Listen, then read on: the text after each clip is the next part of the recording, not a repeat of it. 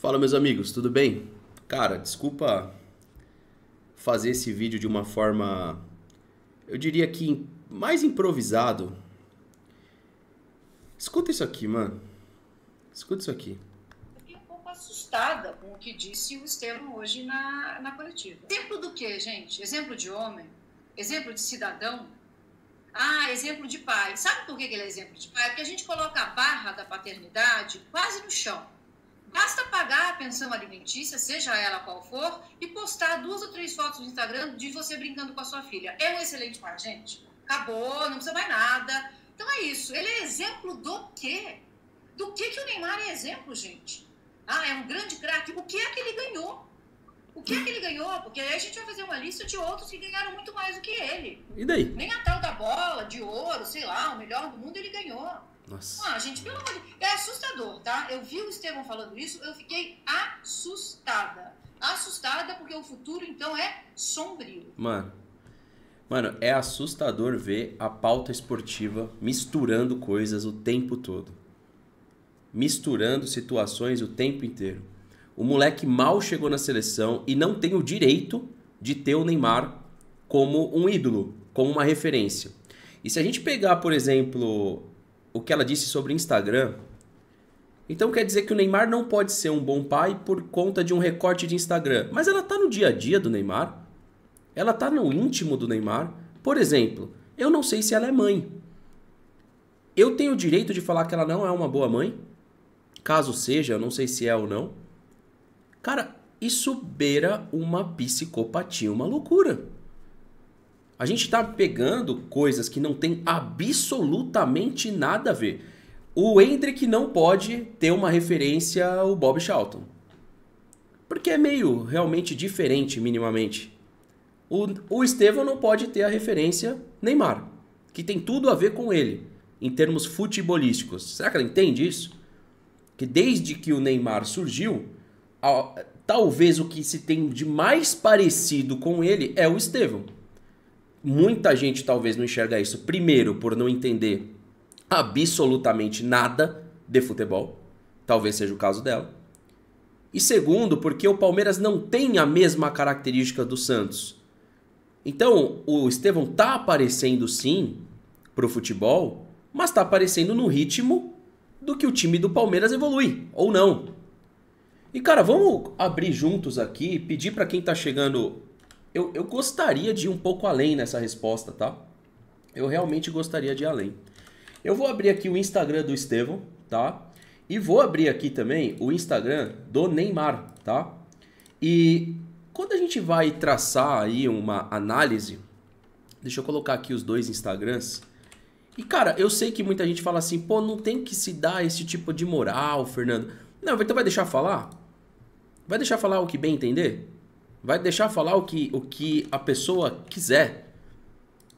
Pô, se hoje o Neymar, aqui foi a coletiva que eu quero mostrar para vocês, ó. Tá?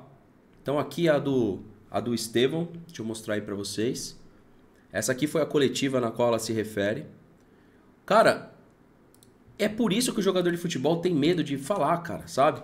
Vamos colocar aqui a do Neymar, o perfil dele. Então veja bem, perfil do Estevão.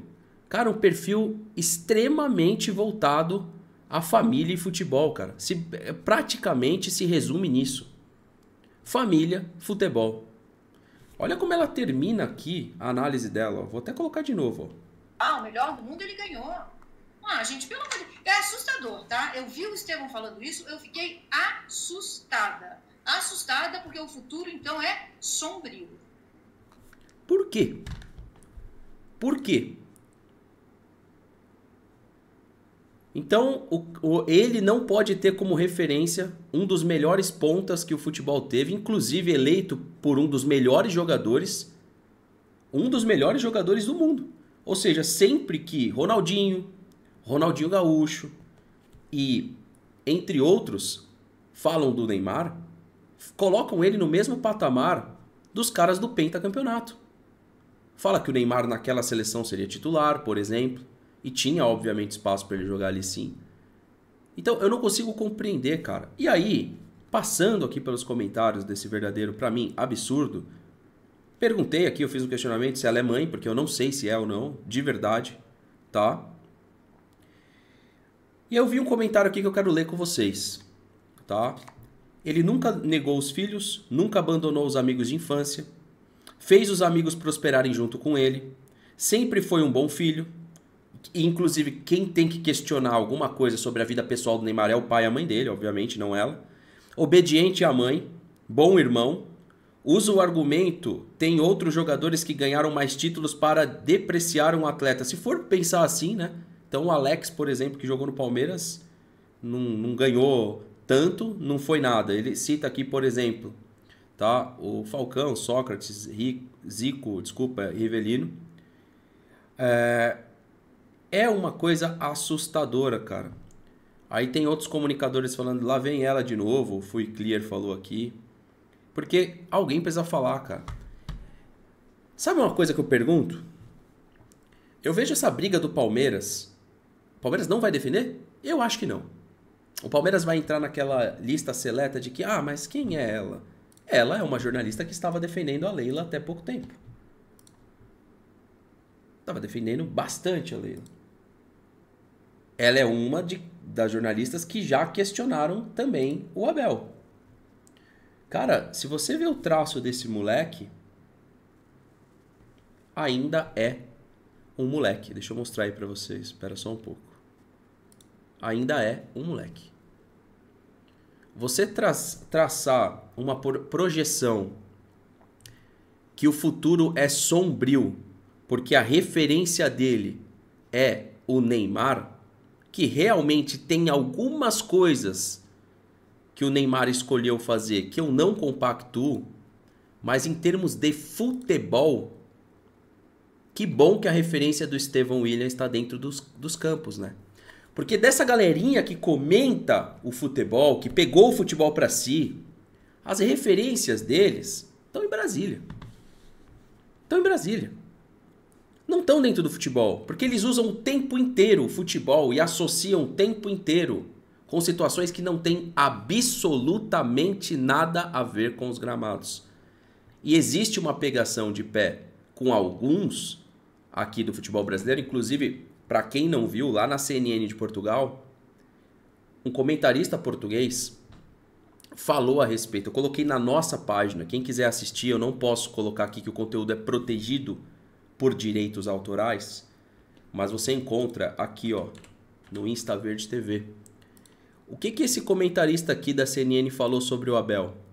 Você pode pesquisar aí. Abel Ferreira era um bom, era bom para tirar o Benfica de uma certa mansidão. Rui Santos. Rui Santos apresenta as opções de Rui Costa para o lugar de Roger Schmidt. Ele basicamente falou a respeito sobre esse relacionamento da imprensa com o Abel e quando eu vi isso daqui, essa publicação, inclusive vou até correr, corrigir que horas que ela saiu, ó. Ela saiu faz pouco tempo, faz talvez cerca. O programa eu não sei, porque eu não assisto. Mas acredito que o programa saiu há um, mais tempo, cerca de 40 minutos, uma hora. E é legal que a gente ainda pode fazer isso, é vocês passarem nos comentários e ver o que, que a galera está comentando. Ainda bem, ainda bem que não é todo mundo que bate palma para maluco. Então, você tem aqui, ó, os exemplos. Ela, volto a dizer, tem total direito de ter a opinião que ela quiser. Total direito. Mas eu reforço: ninguém consegue tomar nota de uma pessoa através somente das suas redes sociais. É preciso ser mais íntimo do Neymar. É preciso ser mais íntimo por exemplo, quando ele ajudou ali no Sul, ah, mas fez mais que obrigação, afinal é milionário, né? Cada um ajuda com o que tem, não é mesmo? Uns vão ter muito, outros vão ter pouco, e o que importa de fato é ajudar. Então eu reforço que ninguém tem o direito de tomar nota de uma pessoa através das suas redes sociais. É possível sim é ser mais denso. Acho que ela tem idade suficiente para entender isso. Uma atitude também dentro de campo não define jogador e treinador nenhum como caráter por completo. Aquilo é um momento, é um recorte, é uma situação. Não define. Como atitudes até de torcedores quando estão em bando, em conjunto, muitas vezes não define o caráter daquela pessoa. Aí a gente pode discutir outras questões, mas sei lá, até de certa forma, duvidar do amor que o Neymar tem, me parece um pouco, sabe, mano, inveja, porque eu acho que ele postou, ele postou um vídeo jogando bola com o filho dele. Então tem essa foto aqui, ó. Tem essa foto aqui. No Rios, ele tem uma foto cobrando escanteios, um vídeo cobrando escanteio que tá viralizando aí, não sei se é recente ou não. Talvez nem seja tão recente assim. Aí tem essa esse Rios aqui, ó. Isso aqui tá viralizando aí, não sei de que dia exatamente foi, acho que duas semanas atrás. Ele ensinando ali o filho dele e competindo, né, com o filho dele como tem que ser, né? Gerar o um ambiente de competição para um, uma criança, para um adolescente é extremamente saudável. Você foca a criança, você foca o adolescente. Mas não, é mais fácil fazer uma análise curta. Tem coisas aqui no Neymar que realmente não me representam, não. O que ele escolheu ser embaixador, o que ele escolheu é, divulgar, não me representa. Mas não me dá o direito de achar que só porque ele fechou com algumas empresas ou com alguns produtos que não me representa, eu achar que ele não representa nada para a mãe dele, para o pai dele, para o filho dele, para a família dele e principalmente para o assunto desse vídeo que é o Estevão. Então, cara, eu espero que ele não escute, mas eu espero, né, que o Abel adora falar desse ambiente, que isso seja citado, porque muitas vezes não é, né, é engraçado. Tem coisas que eles Palmeiras escolhe não citar. O Estevão tem o direito de ter a referência que ele quiser e não a referência que agrada um jornalista ou uma jornalista qualquer, qualquer que seja. Tamo junto, rapaziada. Uma boa noite para vocês. Comenta o que vocês acham. Até a próxima e valeu.